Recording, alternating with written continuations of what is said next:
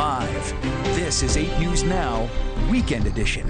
For Secondhand Sunday, a local thrift store says it's been working hard to organize donations for shoppers to get the best holiday steals. 8 News Now reporter Ozzy Mora has more on why secondhand should be your first choice.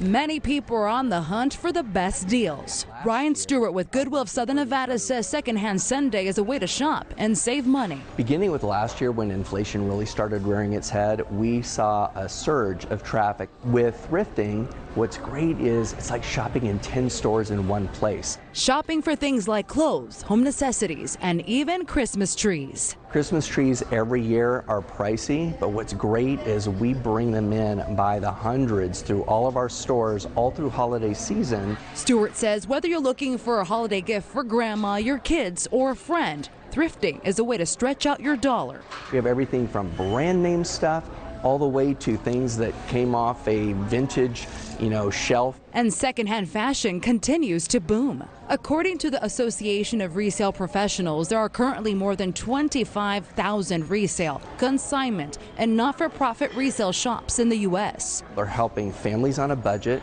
resellers who have their own clients that they can sell to. It's a great sustainability move. I did not know they had Christmas trees there. Where Stewart, Stewart rather says Goodwill of Southern Nevada is always accepting donations.